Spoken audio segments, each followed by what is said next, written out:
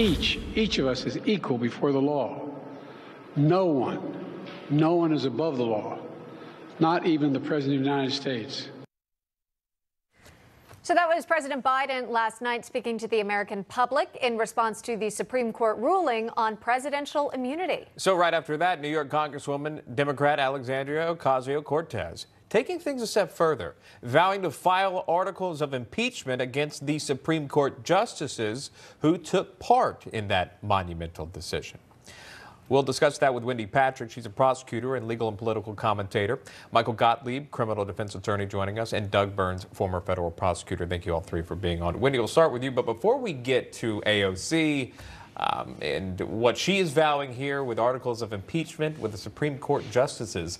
Uh, we have breaking news. The Manhattan District Attorney's Office just releasing an official letter uh, to the judge in Trump's New York criminal case stating that this, although we believe defendant's arguments to be without merit, we do not oppose his request for leave to file and his a putative request to adjourn sentencing pending determination of his motion. Again, this has to do with the Supreme Court ruling yesterday on presidential immunity, uh, doing things in an official act versus an unofficial act, being prosecuted therefore. Um, with this, now the DA is not opposed to allowing the motion to go through, um, though believes that there is this is going through without merit. But bottom line, Wendy, what does this mean uh, from a legal standpoint for Trump and his New York criminal case? Well, what it means is the DA there is probably going to go through the same analysis as the prosecutors on all the rest of his cases. They're going to look to see if he, they're, like you said, core official acts, absolute immunity, of course, uh, would protect those. But remember that that decision by the Supreme Court went farther. It talked about presumptive immunity for a much more expansive list of acts. Now, they're taking it back to Judge Chutkan in the particular case that was analyzed to go through that analysis, but that's also going to apply to what he's charged with on the other cases. So you better believe that they are roundtabling and brainstorming what this is going to mean. They're going to look at what he did when to see if there's any argument that those actions were closed with some kind of immunity. And it's a good thing for both sides that they're going to have a delay, so they'll both be prepared to battle it out at the new sentencing hearing, which is going to be set.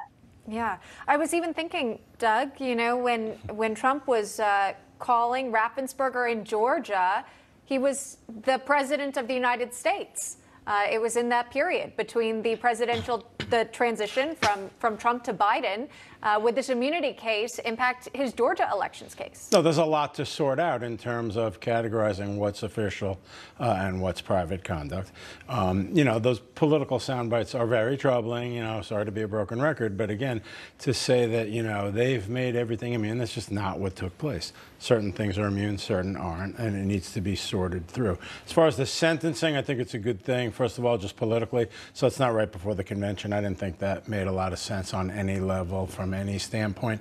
and then on the merits of it, it's actually interesting because you need the chronology.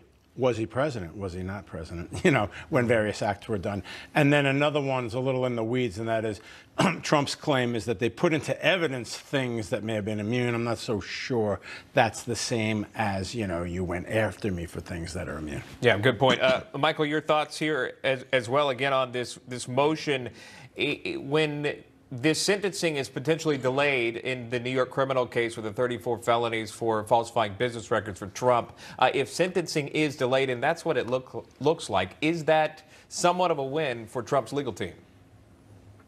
I don't see it as a win. Um, they would have to seek a new trial based on the Supreme Court ruling claiming that Trump is immune. If the judge doesn't grant that, it's not a win and Trump still gets sentenced. And I agree with counsel that, you know, both sides have the opportunity here to understand and determine whether or not there is any impact from this decision on this case. Was Trump president at the time that he was prosecuted for these 34 acts? And were they official acts? I, I don't see it as having an impact in the New York matter.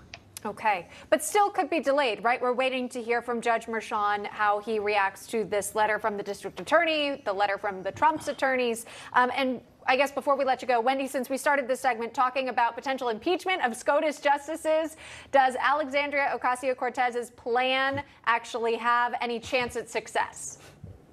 No, it, you know, it's it's one of those arguments that uh, is often made in in the heat of the moment when emotions are running high.